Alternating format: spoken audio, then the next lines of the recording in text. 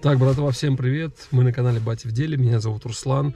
Хочу снять ролик о и рассказать о теме того, как я открывал канал на ютубе. То есть периодически сейчас, э, в последнее время я встречаю людей, либо со мной ехали клиенты, либо ко мне подъезжают ребята, знакомые таксисты, и, ну, либо какие-то старые друзья спрашивают про канал на ютубе.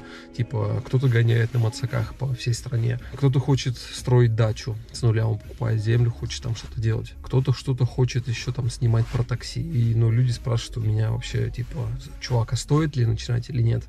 В отличие от тех людей, у которых я изначально спрашивал, типа, а стоит ли залезать в эту тему, которую мне отвечали, нет, это все фигня, нафиг тебе это надо, работай, быстрее заработаешь. Я скажу, что надо. То есть, в принципе, сейчас я уже могу делиться информацией, я уже к чему-то пришел, то есть у меня есть постоянные просмотры на ютубе, у меня есть включенная монетизация, э, есть сторонняя реклама, э, во многих роликах. Ну и, собственно, э, я не достиг какого-то супер там уровня какого-то крутого, но при этом Э, это уже канал, можно сказать, рабочий. Он уже крутится, вертится, постоянно выходят ролики на нем. Э, в большинстве придерживается одна тематика или около нее. Ну и разбавляющий контент ролики. Ну и, собственно, мне кажется, уже от нуля до единицы я дошел. То есть, в принципе, уже неплохо. Ну и, собственно, начнем. Короче говоря, как я начинал вообще. Сначала я думал, о том, типа, вот я залезаю в сферу такси, как еще можно заработать. Вот я покупаю машину, может быть, там вторую, может быть, третью, что еще надо делать? Там, не знаю, лайтбокс создавать э, под фотоконтроль, там, или в аренду, или что-нибудь такое, да. И, типа, может быть, еще экранизировать всю эту историю на ютубе, но я ничего не понимал ни в монтаже, э, ни в съемке, там, тем более, там, в каких-то таких моментах э, там сценарии какие-то или что-то еще. То есть я всегда все живую пишу, ну, как есть. То есть начинаю просто э, с какой-то идеи в голове, сажусь перед камерой, начинаю рассказывать. Вот, и уже развертываю ее в процессе, эту какую-то идею. Вот, э, значит, как я начал? Собственно, ничего не понимая, ничего не зная вообще, просто начал тестировать. Эм, попробовал написать план на первые 30 роликов. То есть я думаю, что бы я бы рассказывал, что бы я хотел рассказывать.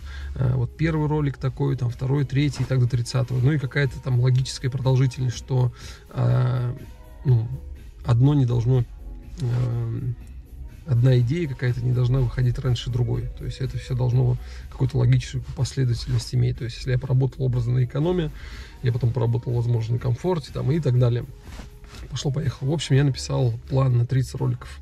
А, даже сейчас у меня на канале там 50 там, роликов есть уже, и из тех 30 снято только 15. То есть во время ходьбы у нас постоянно появляются какие-то новые идеи. То есть мы начинаем снимать одно, процессе появляется что-то еще другое. Но этот план я, возможно, добью, конечно же. А, он еще пополнился спустя время. То есть у меня появляются какие-то идеи, я все равно их выписываю. То есть, собственно, я начинал с сценария. То есть такого некого по роликам. Идеи просто, которые нужно отснять. Далее, ну, началось самое печальное, это первый ролик, который нужно было снять, нужно было что-то рассказать о себе. То есть канал начинался с того, что, ребята, я сейчас расскажу, типа, о себе. Я такой-то, такой-то, я работал там-то, вот такой-то у меня опыт, мне будет что рассказать, там, и я это все, э, типа, пройду на себе и проверю, врут нам, типа, блогеры какие-то или нет, типа, ну, и расскажу все, как есть, правду. Вот. Одно дело было его отснять, но с проблемами как-то еле-еле. Другое дело замонтировать. Интерес может перейти вот в первый ролик на канале, посмотреть, какого он качества. Это просто э, стыд, как бы, если посмотреть назад, там очень плохо все, очень печальное качество. Но я придерживаюсь э, такой такого, наверное, принципа, что я с канала ничего не удаляю. То есть никакие ролики у меня не удаляются. Может быть, что-то одно висит в архиве, и то это по очень большой просьбе после там какого-то большого конфликта. И с нормальной просьбой со стороны людей, то есть если они обращались адекватно.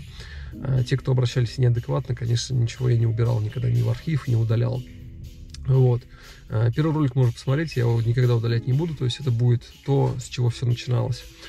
Э, я взял у друга комп и попробовал на Adobe замонтировать этот видос. Э, посмотрел пару роликов, как типа монтировать на Adobe Premiere всю эту историю. Ну, с горем пополам как-то слепил, звук уехал, качество очень плохое получилось, но сделал. Ну и, собственно, дальше, после выпуска первого ролика, ну, конечно, я раскидывал его друзьям, говорю, ребята, давайте поддержите меня. И начал народу рассказывать. Э, типа, вот буду снимать про такси. Кто-то мне говорит такой, блин, чувак, может, у тебя проблемы, может, тебе помочь там чем-то, ну, давай, там, у нас есть работа.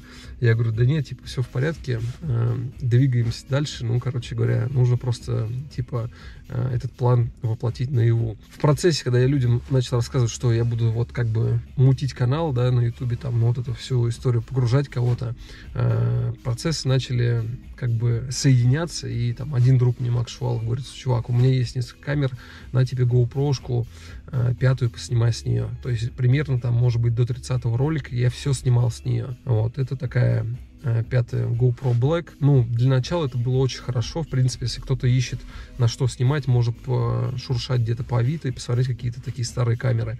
Единственное, что в лучшем случае нужно будет сторонний микрофон покупать. Я брал туда Бою, там тысячи за две с половиной петличный микрофон и с телефона просто записывал голосовушки и накладывал потом на ролик сверху. Также, ну, то есть вот с GoPro я снимал большинство видосов. Пока, как бы, можно сказать, канал Э, не окупился в чем-то, да, и не принес там денег уже на новую камеру, собственно, вот так. Далее, э, эти же рассказы, когда я рассказывал людям, что вот, блин, ну, типа, вот сейчас мучу канал, уже контента много, в общем, э, что-то надо где-то монтировать, как бы Юрик Джипси, мой друган, говорит, слушай, у меня есть типа MacBook, если хочешь, ну там, я рассказывал всем, что там есть очень удобная программа iMovie.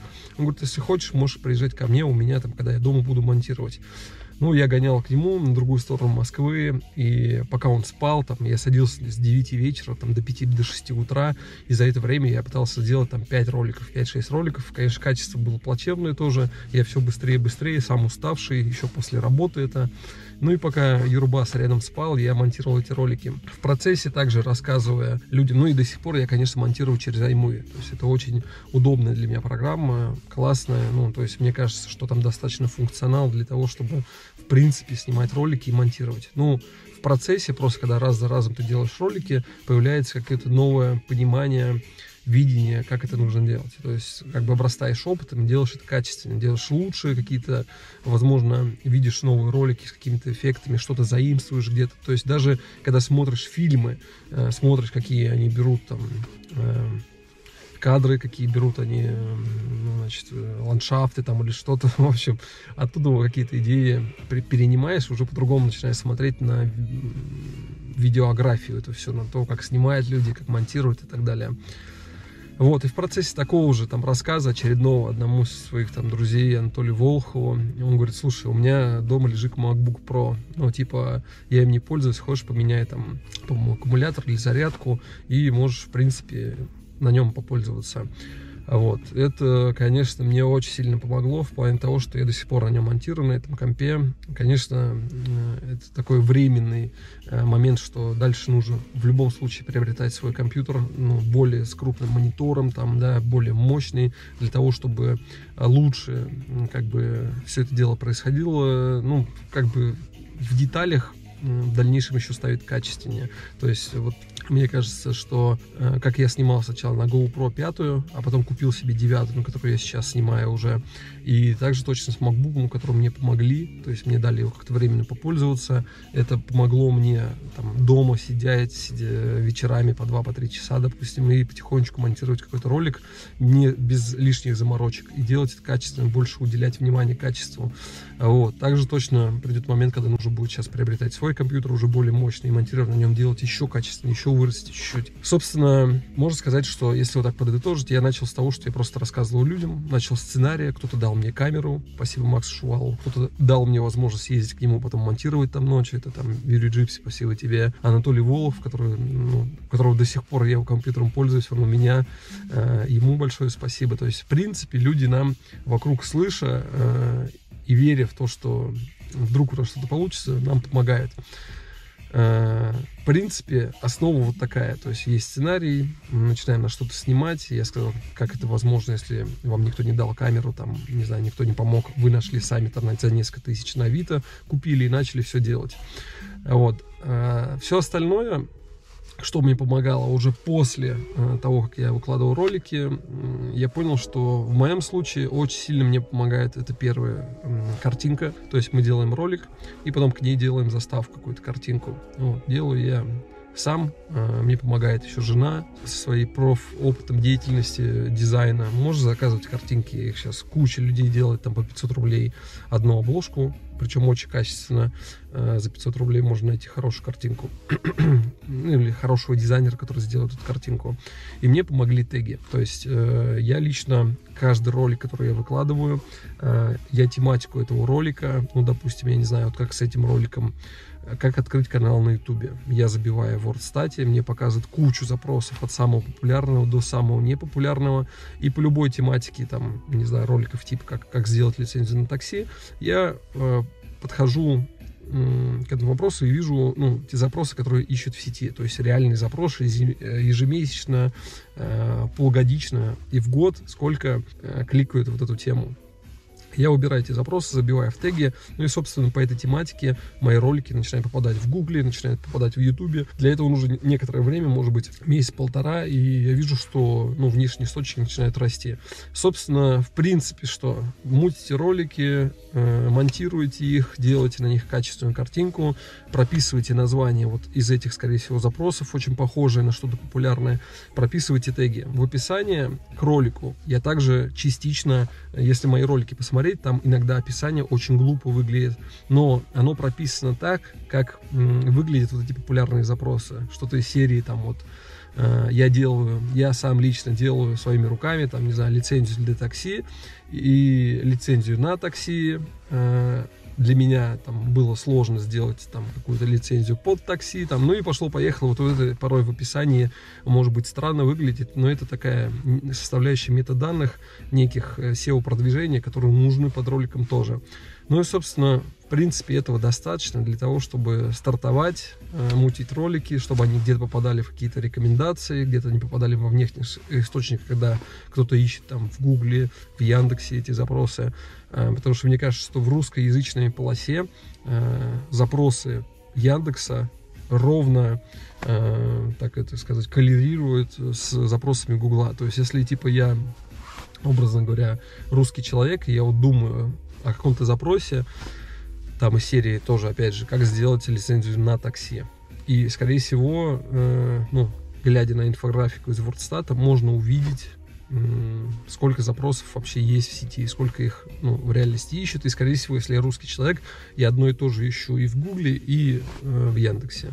Собственно, это в принципе, поможет дальше продвинуть. А, и опять же, WordStat, если что, это бесплатный сервис, э, где можно проверить запросы за месяц, за полгода, за год, э, любые запросы по любой теме. Хоть то, как сделать розетку, не знаю, как установить розетку, точнее, как там помыть машину, как, я не знаю, сварить пельмени. Ну и вот вы можете эти запросы повбивать и смотреть, сколько людей ищут данную тематику. И эм, типа, стоит ли вообще по этой тематике снимать что-то.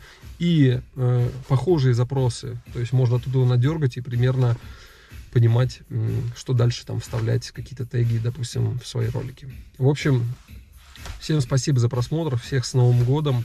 Январь месяц начался, 2022 год, стартуем. Э, надеюсь, что этот год будет э, легче, чем предыдущие. Всем того же желаю. В общем, всем вперед, давайте, всем удачи.